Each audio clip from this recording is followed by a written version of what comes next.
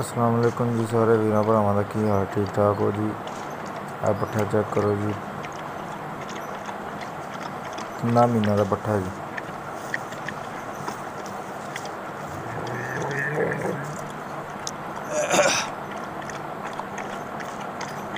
ਖਾ ਵੀ ਸਹੀ ਰਿਹਾ ਸਾਰਾ ਕੁਝ ਸੈੱਟ ਹੈ ਅੱਧਾ ਪੈਰਾਂ ਖੁੱਲਾ ਰੰਗ ਚੈੱਕ ਕਰੋ ਜੀ ਬਹੁਤ ਖੂਬਸੂਰਤ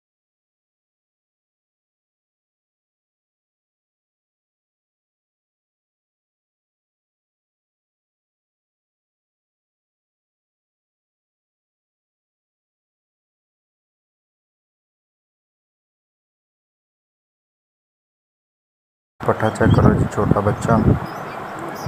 ਛੋਟਾ ਬੱਚਾ ਚੈੱਕ ਕਰੋ ਜੀ।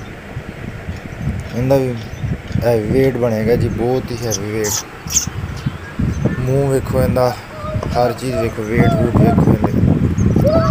ਪੈਰ ਵੇਖੋ ਜੀ, ਮੋਟੇ ਪੈਰਾਂ ਦਾ।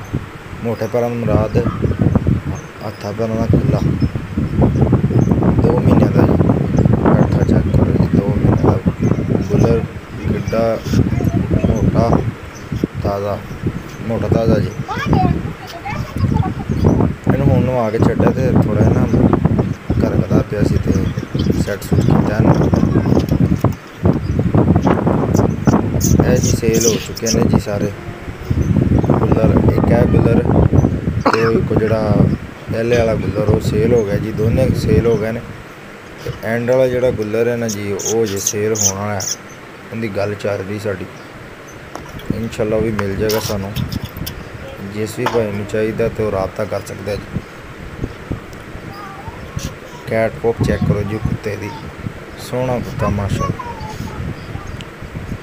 ਜ਼ਿੱਦੀ ਬਹੁਤ ਜੇ। ਤੇ ਫਾਈਟਰ ਬਲੱਡ ਚ ਜੇ, ਫਾਈਟਰ ਬਲੱਡ। ਘਰ ਦੀ ਬਰੀਡ ਇਹਨਾਂ ਦੀ ਤੇ ਫਾਈਟਰ ਕੁੱਤਿਆਂ ਦਾ ਬੱਚਾ ਜੀ। ਠੀਕ ਹੋ ਗਿਆ ਜੀ। ਬਹੁਤ ਹੀ ਲਾਡਾ ਨਾਲ ਇਹਨੂੰ ਸਾਂਭਿਆ ਭਾਈ ਹੋਣਾ ਨੇ। ਬਣੇਗਾ ਜੀ 32 32 ਕੁ ਇੰਚ ਬਣੇਗਾ ਜੀ ਵੱਡਾ ਹੋ ਕੇ। ਚੈੱਕ ਕਰੋ। ਬਹੁਤ ਹੀ ਨਖਰੇ ਵਾਲਾ ਕੁੱਤਾ ਜੀ। ਇੱਕ ਹੋਰ ਤੁਹਾਨੂੰ ਅੱਗੇ ਵਹਾਨਾ ਕੁੱਤਾ।